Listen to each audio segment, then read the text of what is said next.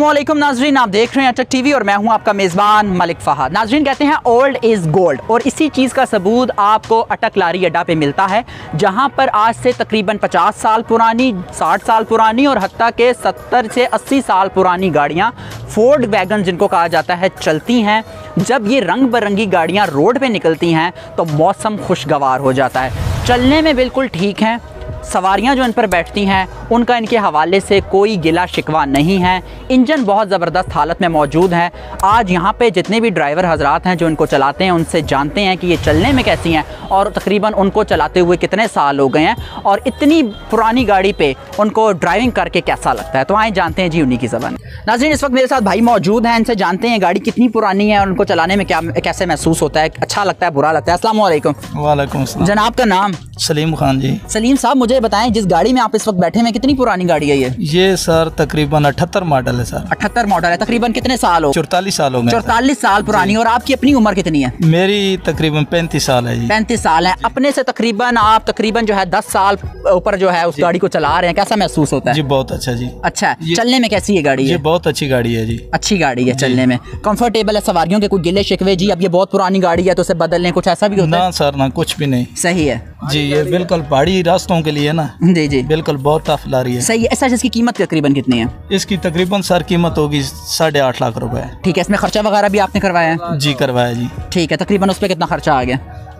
तकरीबन इतने पैसों पे पड़ी हुई है। ठीक है अगर आप अगर इसे बेचना चाहते हैं तो आपका क्या मुतालबा है? बेचना चाहते हैं या रखना चाहते हैं? सर रखी हुई है। अगर कोई पार्टी लग गई तो बेच देंगे। सही है जी कोई पार्टी वैसे लग गई तो बेच देंगे। नाजरीन इस वक्त एक और येलो सी रंग की गाड़ी जो है पुरानी फोर्ड वैगन जो है इस वक्त मौजूद है अड्डे के ऊपर। जानते हैं ये कितनी पुरानी है। वालेकुम जनाब मुझे बताएँ इतनी पुरानी गाड़ी पे आप बैठे हुए कि कौन सा मॉडल है ये? ये तकरीबन सत्तर मॉडल है। सत्तर मॉडल है। तकरीबन कितने साल पुरानी तकरीबन इकवंजा साल बन जाती है। इकवंजा साल। तो मुझे बताएँ आपकी अपनी उम्र कितनी है? मेरी उम्र तकरीबन चालीस साल है। अच्छा मुझे बताएँ अपने से दस साल तकरीबन गाड़ी के ऊपर बैठे हुए हैं। चलाने में कैसी है? बहुत अच्छी है। ठीक है। अच्छा ये फिर इसका मतलब है आपकी सीनियर हो गई ना? जी जी। ठीक है। अच्छा और सवारियाँ कोई गिला शिकवा करती हैं? सवारियाँ खुशी से बैठती हैं। खुशी से बैठती हैं। ठीक है तो इसका काम शाम भी आपने करवाया है। जी बिल्कुल। अगर अच्छी कंडीशन में है। अगर बेचनी पड़ी तो बेचेंगे इसको। नहीं हमने शौक से रखी हुई है। शौक से रखी हुई है। अच्छा सिर्फ़ जिला अटक में इस तरह की गाड़ियाँ जो है वो है। तो जहरी बात है इनका मैकेनिक भी मुश्किल से मिलता होगा। मैकेनिक आसानी से मिल जाता है। इधर मैकेनिक भी आसानी से मिल जाता है और उसके बाद इसका स्पेयर पार्ट है वो भी आसानी से मिल आसानी से मिल जाता है। ठीक है जनाब। ओके नाजरीन इस वक्त मेरे साथ बाबा जी मौजूद हैं जो लाल रंग की गाड़ी पे जो बैठे हुए हैं। असला वालेकुम बाबा जी थोड़ा नाम? रब नवाज़ जी। अच्छा मैं आप मुझे ये बताएँ तकरीबन ये गाड़ी कितनी पुरानी है?